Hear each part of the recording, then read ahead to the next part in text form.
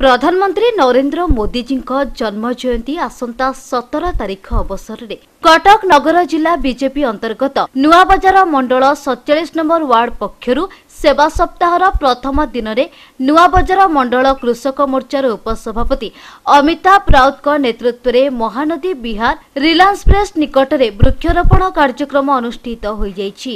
ଏଥିରେ ବିଜେପି ନେତା engineer Ranjan Kumar Dhal engineer Smrutiranjan Mishra Sanjay Jena advocate Bijay Mishra ପ୍ରମୁଖ ଉପସ୍ଥିତ ଥିଲେ। କଟକରୁ ପ୍ରସନ୍ନ କୁମାର ରାୟଙ୍କ ରିପୋର୍ଟ।